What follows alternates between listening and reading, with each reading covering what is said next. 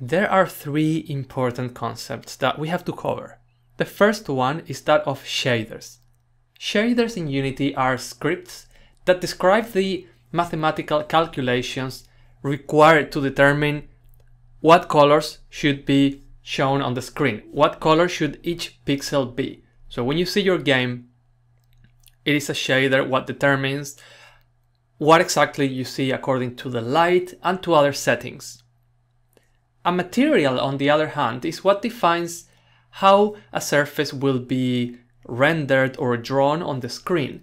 And a material has a shader associated with it. So a material has a shader and depending on the shader, there will be certain options, certain parameters that you have to enter. Some of these parameters might be the values of different colors, it could be other, other numbers, or it could also be different textures.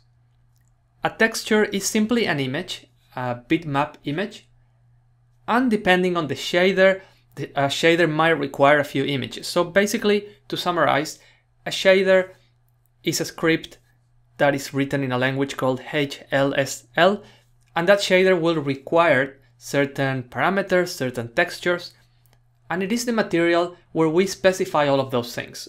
When we create a material, we assign a shader to it, and then we enter all these things, and then we can assign this material, give this material to a 3D model. For example, you can create a cube, create a material, and then you can assign that material to the cube. Let's go to Unity and create our first material.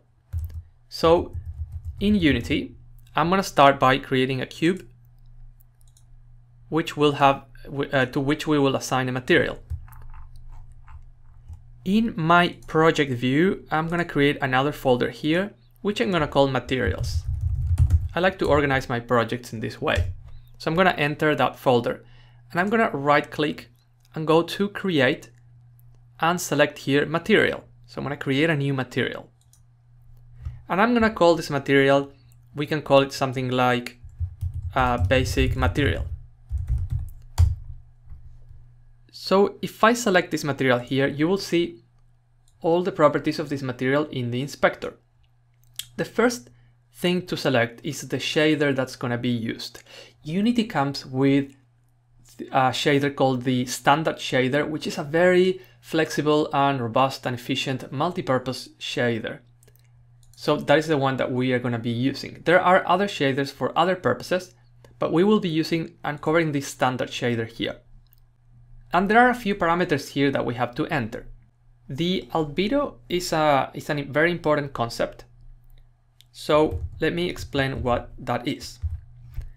You might have heard the word albedo uh, when uh, if you've studied astronomy. So the albedo is the proportion of the light that reflects back. So different materials have different albedo values. But in Unity, actually albedo means something different. It, it doesn't mean the percentage of the light that is reflected, it actually sets a base color for the surface. So in simple terms, it is the base color of the material. So let's go and select a color. So I'm, i click on the color there and I get this color picker so I can pick any color I want. And once I've selected a color, you can see that your material now has that albedo color. And I can drag my material to the cube to assign that material. If I click on the cube, and you will see that the, the cube and all elements that you create that, that are obviously visible, like cubes or all the primitive cylinders, spheres, they all have a mesh render, which is a component that determines how that particular game object is, is shown, it's drawn on the screen, it's rendered on the screen. So you can see here that in materials, we actually see our material. If we create a new cu cube, and I'm gonna move it away, you can see that by, uh, by default, the cube has something called a default material. So our first cube is, uh, is it has the material that we've created for it. There are two other parameters here that are very important, the metallic and the smoothness value. The metallic parameter specifies how much the material will reflect its environment, as opposed to just showing its albedo color. The smoothness simulates a microsurface on the material and that affects how it reflects light. So the more smooth it is, the, the more even the reflection is going to be. And we're gonna talk about emission in a little bit. The best way to get a feel of what these parameters do is actually to try an experiment. But if you need some help, there is a very useful material chart in the Unity documentation that explains how you can easily achieve different effects, what sort of color you need on your albedo, and then what parameters you can set on your metallic and smoothness. Now let's go to Unity and have a play with these things. Before modifying those things, what I would like to do is actually add a couple more things here. So I'm gonna add a plane that we can position underneath these elements. And I also want to add a second light. As you know, we have a directional light, which is light that comes from this direction as shown here. And I, want, I would like to add a point light, which is light that comes from a single point. So I'm gonna add, I'm gonna right click and go to light, point light. It's created a light here. As you can see, the light has a transform component that we're already familiar with and a light component, which is what makes that light a point light. I'm gonna drag that here and I'm gonna change the color of that light to something else, to like something like green, so that I get something a bit more interesting. And there should obviously be some reflection on the ground. Um, I've created another material here called ground material, so I'm gonna select a color for that material. Let's make it brown and uh, just put position that in there. Okay, so let's go back to our basic material and play with these uh, metallic and smoothness parameters. Out of both parameters, I find smoothness the one that's the easiest to understand because you can e easily visualize surfaces that have like a micro surface on them, for example, the ground or a blanket. And those surfaces will usually reflect light in a way that is not so um, concentrated. For example, if, if we set this, you can see compare that when it this when this is very smooth, it looks like a billiard ball pretty much, and also the, the light tends to be more concentrated. Whereas when it's set to, to a low number, it can resemble more the kind of surfaces that, that have this characteristic. The metallic value, um, it makes a bit more sense. It, the, the more metallic it is, the more that it reflects the environment when you can really appreciate the metallic value is when you have, for example, a skybox. So if we look up, we can see that this sky is pretty, it's pretty boring, right? Like it's very plain. But if we had a skybox with clouds and more elements, you would be able to, you by using the metallic value, you could reflect some of the stuff and um, it would make a, it would become a bit more intuitive. But as you as you play with these parameters and also keep that chart in mind, you can achieve a lot of uh, very good looking materials. The other property here that I want to cover is emission. A material that has emission is a material that emits its own light basically. So let me create a new material. So I'm going to go and add a new material. I'm going to call this emissive material.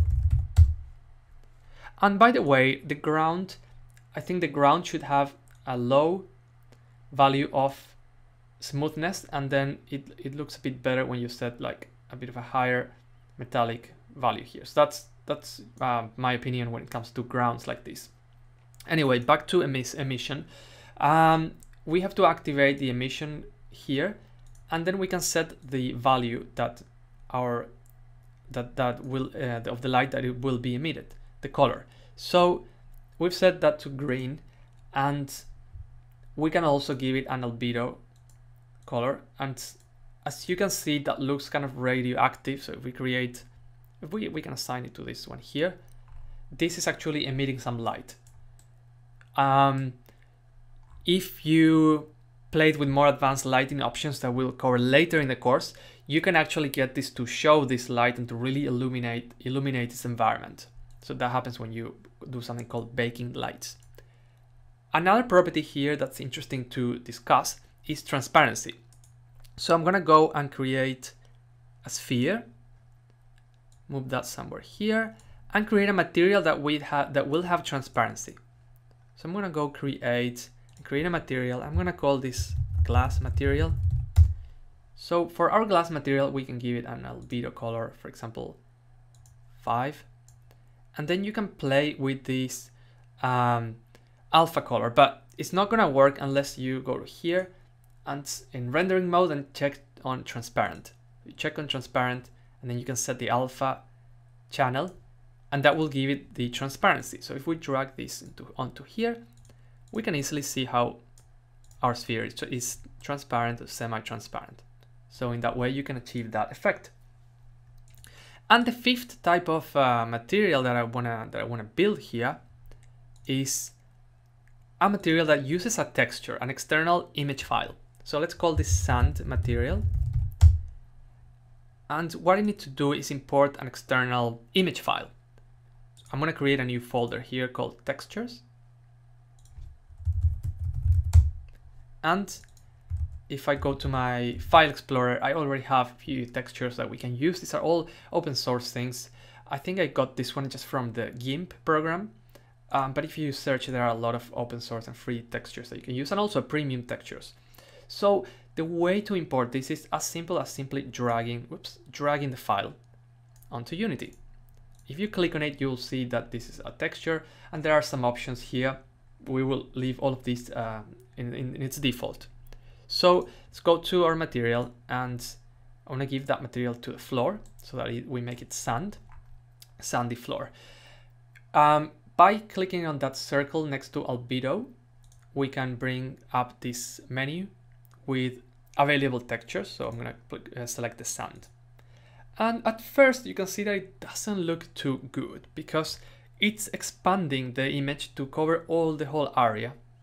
And this sand texture is meant to be repeated multiple times in such an area. So the way to work with that, the way to fix that, is to go to tiling underneath emission. Tiling has nothing to do with emission, by the way. It's just located very, very near. And this is the number of times that the tile or the texture will be repeated. So if I change, for example, 2 on X, um, we are repeating it on, on X, on the X axis, we're repeating it twice, but just once on a Y. So as you can see, it's all stretched. It looks horrible. So what if we do that on Y as well? That looks a little bit better. We have we have now uh, four times the texture. And if we if we do it three times, that looks much much better. And let's do four. And just to show you, like if you if you add too many, it kind of looks weird because it's just repeated too much. So I I found that four looked looked okay in this case, so I'm gonna leave it at four and we could also if you we could also we can also play obviously with these parameters so if we don't like the way that the that the light is being reflected or anything like that you can just find the sweet spot find whether it works for you. And you can also set an albedo color. If we wanted this to have a bit of a mars kind of martian aspect we could we could change it to like red. And that will give us our martian soil. And so we have all different types of elements here. We have this sandy material um, that you can be like, yeah, in real life, sand is not smooth, but sometimes you just have to, in, in Unity, you just have to go with whatever kind of looks best. So I guess it could be more like that. That's a bit more realistic, yeah. And then we've got this other ground material that basically had like a very low smoothness. Then we have the transparent material, and we also had an emissive material, like a radioactive cube, and this original material is the one that uh, was made kind of like a billiard ball, like very metallic, very, very smooth. Um, so what we're gonna do now is um, go to challenge and the challenge will be a bit different in this case. So the challenge will basically replicate everything we've done in this lesson, but without you obviously looking at the at the lesson. So trying to do it on your own, you can always just look at the lesson again to uh, find out how any of these things are done. And of course, do check the documentation that I pointed out. So create a new project in Unity, create five cubes or, or five uh, primitive shapes, can be spheres or cylinders, a plane. Create five materials and start with the basics. So start by simply setting a simple color, just change the albedo, then start playing with the metallic, with smoothness to create something that's looking like metallic, kind of like that billiard ball that we created.